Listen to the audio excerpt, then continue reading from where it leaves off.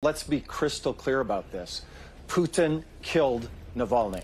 The recent demise of Russian opposition leader Alexei Navalny within the confines of a prison has sent shockwaves across the globe, prompting widespread condemnation and allegations of foul play. As the world grapples with the news of Navalny's tragic passing, the spotlight has once again turned to the contentious relationship between Russia and the West. Former ambassador to Russia, Michael McFaul, has echoed President Biden's assertion, pointing fingers at Vladimir Putin's regime for Navalny's demise. Months earlier, when Putin was asked if he killed Navalny, this was his response. Over my tenure, I've gotten used to attacks from all kinds of angles.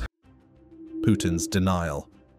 During his annual news conference, President Vladimir V. Putin of Russia dismissed allegations linking him to the near-fatal poisoning of his primary political adversary, Alexei A. Navalny, with a dismissive laugh. Putin remarked that if Russian operatives had indeed intended to eliminate Navalny, they would have succeeded in doing so. However, in a surprising turn, Putin acknowledged that Russian intelligence had been surveilling Navalny's movements within the country. The incident involving Navalny, a prominent 44-year-old opposition figure known for his significant online following unfolded in August when he was poisoned with a potent military-grade nerve agent while traveling through Siberia. Despite falling critically ill during a commercial flight, Navalny's life was saved due to the swift actions of the pilot's emergency landing and the timely response of ambulance personnel upon landing. Putin, while addressing journalists for hours during the conference, shifted blame towards American intelligence, alleging their involvement in orchestrating the outcry surrounding Navalny's poisoning. He dismissed findings from an international investigative report implicating Russian intelligence, labeling it as American-engineered propaganda. Referring to Navalny as this patient in the Berlin clinic, Putin insinuated that American intelligence agencies were supporting him, justifying Russian surveillance on Navalny. However, he vehemently denied any involvement in or motive for poisoning Navalny, reiterating that the blame laid elsewhere. Putin's statements during the highly publicized event underscored the Kremlin's defensive stance in light of mounting evidence implicating the Russian state in the assassination attempt on Navalny. It also highlighted Putin's familiar tactic of deflecting responsibility by implicating foreign entities, particularly the United States. Navalny responded to Putin's remarks on Facebook, asserting that the evidence against the Russian government was undeniable, likening Putin's comments to a tacit admission of guilt. In September, German military scientists determined that Navalny had been poisoned with a nerve agent from the Russian-made Novichok family, a conclusion corroborated by laboratories in France, Sweden, Sweden and the Organization for the Prohibition of Chemical Weapons, an international watchdog, the poisoning of Alexei Navalny was a turning point in his political career, but the events that followed only added to the shocking narrative surrounding his case. After recovering from the poisoning, Navalny made a bold decision to return to Russia, defying the risks and the looming threat of arrest. He believed that his mission to expose corruption and fight for justice was far from over, and he was determined to continue his work on Russian soil. However, as soon as Navalny landed at Moscow's Sheremetyevo airport on January 17, 2021, he was immediately detained by Russian authorities. The arrest was met with widespread condemnation, with many viewing it as a blatant attempt to silence a prominent opposition figure. Navalny's arrest sparked a wave of protests across Russia, with thousands taking to the streets to demand his release and denounce the government's actions. The demonstrations were met with a heavy-handed response from the authorities, leading to clashes between protesters and the police. In a swift and controversial trial, Navalny was convicted of violating the terms of his probation from a previous case and sentenced to two and a half years in prison.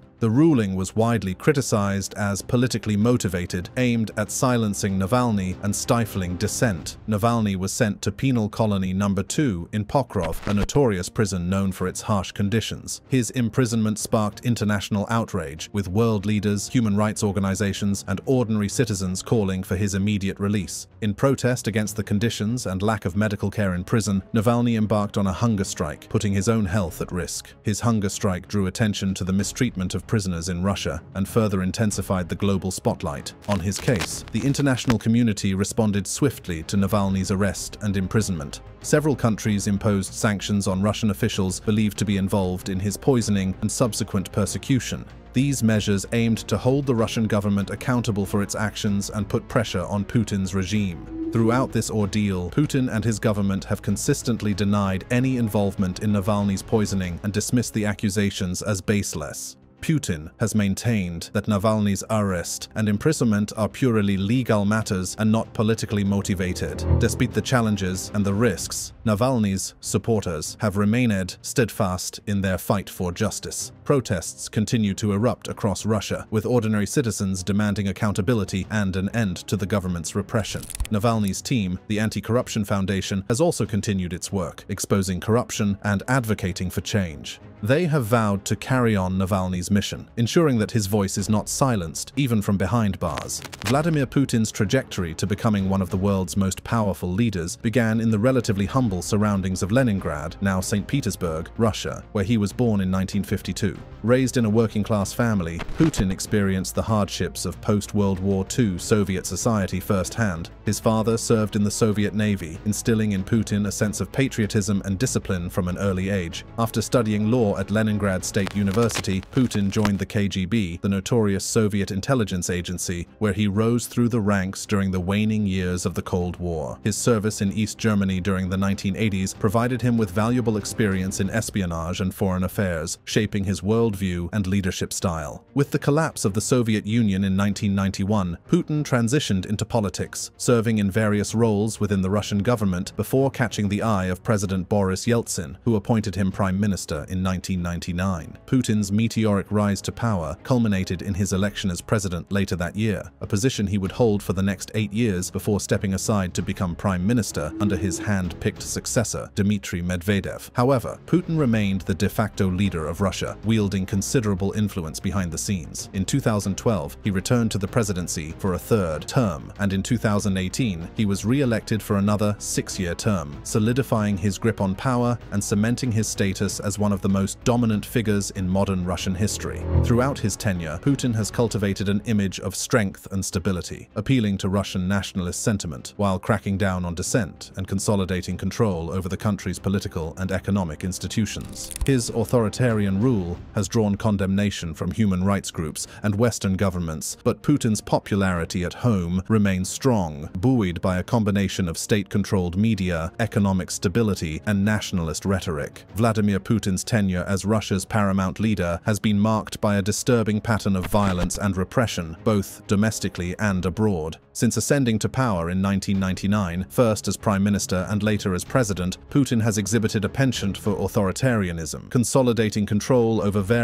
aspects of Russian society while quashing dissent and opposition. His regime has been characterized by a series of high-profile cases involving the suppression of political opponents, journalists, and activists who dared to challenge his authority. The list of victims includes Boris Nemtsov, a prominent opposition figure who was assassinated in 2015, just steps away from the Kremlin, and Anna Politkovskaya, an investigative journalist known for her critical reporting on the Chechen conflict who was murdered in 2006. These brazen acts of violence, coupled with the suspicious deaths and mysterious disappearances of other critics of the regime, have fostered a climate of fear and intimidation in Russia, where speaking out against the government can have deadly consequences. Beyond its borders, Putin's regime has been implicated in a range of aggressive and destabilizing activities, from the annexation of Crimea in 2014 to its support for separatist rebels in eastern Ukraine and its military intervention in Syria. The poisoning of former Russian intelligence officer Sergei Skripal and his daughter in the UK in 2018, using a nerve agent believed to be of Russian origin, further underscored Putin's willingness to resort to violence to eliminate perceived threats, even on foreign soil. Under Putin's leadership, Russia has become increasingly isolated on the world stage, viewed with suspicion by Western democracies for its blatant disregard for human rights and international norms. Despite facing mounting criticism and sanctions from the international community, Putin has shown no signs of relenting in his authoritarian tactics, signaling a troubling future for Russia and its people under his iron-fisted rule. But first to Russia, where top opposition figure Alexei Navalny is reported dead this evening. The opposition.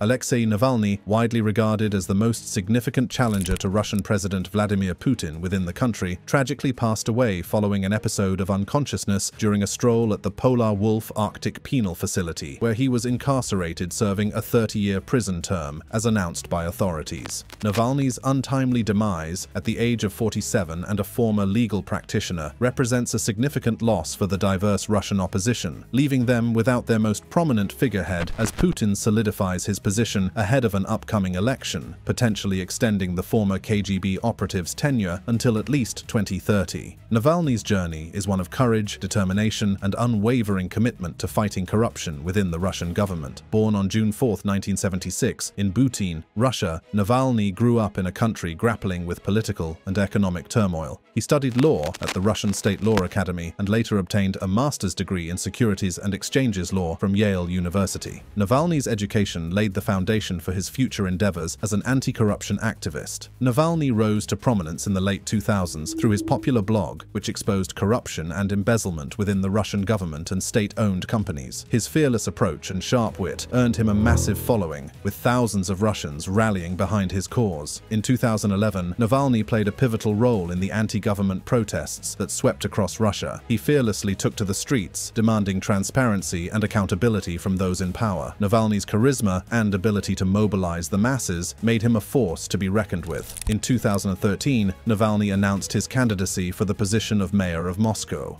Despite facing numerous obstacles and a heavily biased political landscape, he managed to secure an impressive 27% of the vote, finishing second in the race. This achievement solidified his status as a prominent opposition figure in Russia. However, Navalny's political journey was not without its challenges. He faced numerous arrests and legal battles, often on trumped-up charges as the Russian government sought to silence his voice. But Navalny refused to back down, becoming a symbol of resilience and defiance in the face of adversity. Navalny's popularity continued to grow, fueled by his relentless pursuit of justice and his unwavering commitment to exposing corruption. He launched the Anti-Corruption Foundation, an organization dedicated to investigating and uncovering the illicit activities of Russian officials. In 2017, Alexei Navalny, undeterred by the Kremlin's attempts to stifle opposition, boldly announced his candidacy for the presidency of Russia, posing a direct challenge to Vladimir Putin's entrenched authority. Despite Navalny's widespread popularity and growing support base, the Russian government swiftly moved to disqualify him from the race, citing a previous criminal conviction widely regarded as politically motivated. However, Navalny's aspirations for political change persisted, serving as a rallying point for those disillusioned with Putin's regime and its grip on power. Navalny's influence transcended the confines of Russian borders, gaining traction on the global stage through his relentless crusade against corruption and abuse of power. His investigative reports, most notably the expose on the opulent Putin's palace, exposed the extravagant lifestyles of Russia's elite and garnered widespread attention, further solidifying Navalny's reputation as a formidable adversary to the Kremlin. Then, in August 2020, Navalny's life was thrust into perilous uncertainty. While en route from Siberia to Moscow, he suddenly fell critically ill, succumbing to symptoms indicative of poisoning. Subsequent investigations revealed that Navalny had been targeted with a nerve agent known as Novichok, a deadly substance with origins traced back to the Soviet era. Navalny's poisoning reverberated across the globe, igniting a firestorm of outrage and condemnation directed at the Russian government. His emergency evacuation to Germany for urgent medical treatment marked a pivotal moment in the saga, where Navalny's resilience and tenacity became emblematic of the struggle against authoritarianism. Miraculously, Navalny defied the odds, undergoing a remarkable recovery that captured the world's attention and inspired hope amidst adversity. The brazen attack on Navalny not only underscored the dangers faced by those who dared to challenge the status quo in Russia, but also intensified scrutiny on Putin's regime, prompting renewed scrutiny and condemnation from the international community. The poisoning of Navalny served as a stark reminder of the lengths to which the Kremlin would go to silence dissent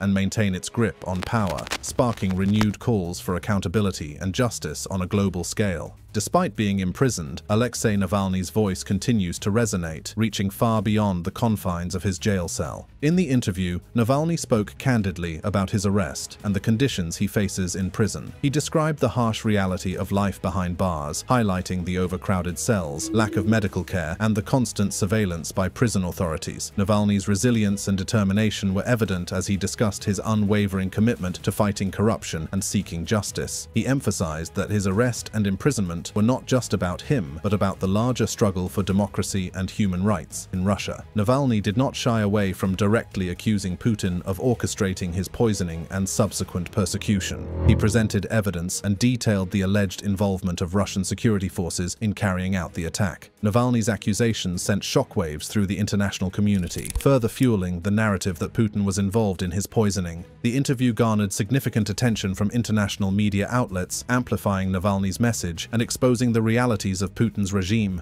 Journalists and human rights organizations around the world rallied behind Navalny, demanding his release and calling for justice. In response to Navalny's accusations, Putin and his government continued to deny any involvement. They dismissed Navalny's claims as baseless and part of a Western-led campaign to undermine Russia's reputation on the global stage. Putin maintained that Navalny's arrest and imprisonment were lawful and unrelated to politics. Navalny's interview from jail galvanized his supporters, who took to the streets once again, demanding his release and denouncing the government's actions. The protests grew in size and intensity, with ordinary citizens bravely challenging the authorities and risking their own safety to stand up for justice. Despite being imprisoned, Navalny's team at the Anti-Corruption Foundation continued their investigations into corruption within the Russian government. They released damning reports exposing the lavish lifestyles of high-ranking officials and their alleged involvement in embezzlement and bribery. The international community maintained pressure on Russia, with world leaders, human rights organizations, and ordinary citizens demanding Navalny's release and condemning the government's actions. Sanctions were imposed, targeting individuals and entities believed to be involved in the persecution of Navalny. In a powerful message to his supporters, Navalny expressed gratitude for their unwavering support and urged them to continue the fight for justice and democracy. He emphasized that his case was not just about him, but about the future of Russia and the rights of its citizens. Navalny's family, particularly his wife Yulia Navalnaya, has played an integral and tireless role in the relentless campaign for his release and the broader cause of justice and democracy in Russia. Yulia Navalnaya has emerged as a steadfast and influential advocate, fearlessly confronting the oppressive tactics employed by the Russian government to stifle dissent and curb basic freedoms. Despite the inherent risks and constant pressure from authorities, Navalnaya has remained undeterred, boldly speaking out against the injustices perpetrated by the Kremlin and tirelessly championing her husband's cause on both domestic and international platforms. Yulia Navalnaya's activism extends far beyond the confines of her personal struggles, as she passionately raises awareness about the plight of political prisoners in Russia, including Alexei Navalny himself. Through her unwavering commitment and courageous efforts, Navalnaya has become a beacon of hope and resistance against authoritarianism, rallying support from within Russia and garnering attention on the global stage. In the face of adversity and intimidation, demanding justice, accountability, and the restoration of democratic principles, her calls for international solidarity have resonated with leaders and activists worldwide as she urges foreign governments to exert pressure on Russia to respect human rights and uphold the rule of law. Yulia Navalnaya's remarkable resilience and unwavering dedication to the cause of justice serve as an inspiration to countless individuals, galvanizing a movement for change and fostering hope for a more democratic and inclusive future in Russia. Despite the challenges ahead, Navalnaya's unwavering resolve reaffirms the belief that even in the face of oppression, the pursuit of freedom and justice will ultimately prevail. Biden did not mince words in calling out who he believes is responsible for Navalny's death. Make no mistake, Putin is responsible for Navalny's death. The reactions. President Biden took a strong stance on the matter. He publicly stated that there was no doubt that Vladimir Putin was responsible for Navalny's death. Biden condemned the Kremlin for its actions and vowed to take action against Russia. The US government is currently considering a range of options to punish Russia for its role in Navalny's death. Throughout this ordeal, Putin and his government have consistently denied any involvement in Navalny's poisoning and dismissed the accusations as baseless. Putin has maintained that Navalny's arrest and imprisonment are purely legal matters and not politically motivated. Despite the challenges and the risks, Navalny's supporters have remained steadfast in their fight for justice. Protests continue to erupt across Russia, with ordinary citizens demanding accountability and an end to the government's repression. Navalny's team, the Anti-Corruption Foundation, has also continued its work, exposing corruption and advocating for change. They have vowed to carry on Navalny's mission, ensuring that his voice is not silenced, even from behind bars. The arrest and imprisonment of Alexei Navalny have sent shockwaves through the international community, shining a spotlight on the state of democracy and human rights in Russia. As the world watches, the question question remains, will justice prevail, or will Navalny's case be yet another example of the government's iron grip on power? The relationship between Russia and the United States has been characterized by a complex interplay of cooperation, competition, and conflict, spanning decades of geopolitical maneuvering and ideological rivalry. Emerging from the ashes of World War II, the Cold War rivalry between the two superpowers defined much of the 20th century as both nations vied for global supremacy and sought to spread their respective spheres of influence. The dissolution of the Soviet Union in 1991 heralded a new era in Russo-American relations, marked initially by cautious optimism and efforts at cooperation. However, tensions resurfaced in the post-Cold War landscape as Russia grappled with its diminished status and sought to reassert its influence on the world stage. Disputes over NATO expansion, missile defense systems, and human rights issues have fueled mutual distrust and animosity, exacerbating existing fault lines and hindering efforts at diplomatic reconciliation. The annexation of Crimea by Russia in 2014 and its subsequent support for separatist rebels in eastern Ukraine further strained relations, leading to a cycle of economic sanctions and diplomatic isolation. Meanwhile, allegations of Russian interference in the 2016 US presidential election and ongoing cyber attacks targeting American infrastructure have deepened suspicions and prompted calls for a tougher stance against Moscow. Despite occasional attempts at dialogue and cooperation on issues of mutual interest such as arms control and counter-terrorism, the relationship between Russia and the US remains fraught with geopolitical rivalries and ideological differences, underscoring the enduring complexities of global power dynamics in the 21st century. The reactions to the tragic death of Alexei Navalny reverberated across the globe, reflecting a mix of shock, condemnation, and calls for accountability. UN Secretary-General Antonio Guterres minced no words in attributing Navalny's demise directly to Russian President Vladimir Putin, describing Navalny as yet another victim in a long line of casualties under Putin's regime. Guterres demanded justice and accountability, urging for a comprehensive investigation into the circumstances surrounding Navalny's death. Australian Prime Minister Anthony Albanese echoed these sentiments, mourning Navalny's passing as a loss for democracy and condemning the treatment he endured. Australian Foreign Minister Penny Wong held the Russian government solely responsible for Navalny's fate, emphasizing his heroic opposition to Putin's repressive regime and expressing solidarity with the people of Russia in their struggle for freedom. UN Special Rapporteur on Torture, Alice Edwards, highlighted the urgent need for an investigation into the credible allegations of torture against Navalny Navalny, lamenting the Kremlin's blatant disregard for human life and the rule of law. British Prime Minister Rishi Sunak hailed Navalny as a fierce advocate for Russian democracy, while Swedish Prime Minister Ulf Kristersson squarely pinned responsibility for Navalny's death on the Russian authorities, particularly Putin himself. EU Council President Charles Michel and European Commission President Ursula von der Leyen, along with EU Foreign Policy Chief Josep Borrell, held Putin's regime accountable for Navalny's demise, vowing to spare no efforts in seeking justice and demanding Russia adhere to international norms and standards. NATO Secretary-General Jens Stoltenberg stressed the need for a thorough investigation to establish the facts surrounding Navalny's death, while Dutch Prime Minister Mark Rutte mourned Navalny's tragic end, attributing it to his fight for democratic values against corruption. Latvian President Edgars Rinkēvičs underscored the brutality of Navalny's murder, emphasizing the true nature of Russia's current regime under Putin and calling for solidarity with the Russian people in their quest quest for freedom and justice. Czech Foreign Minister Jan Lipavsky condemned Russia as a violent state that silences those who dare to dream of a better future, drawing parallels between Navalny's fate and that of other slain dissidents like Boris Nemtsov, and urging the international community to stand firm against tyranny and oppression. Republican US presidential contender Nikki Haley denounced President Trump's alignment with Putin, highlighting Putin's record of silencing political opponents and holding American journalists hostage, emphasizing the imperative of recognizing the true nature of Putin's regime and advocating for a firm stance against Russian aggression.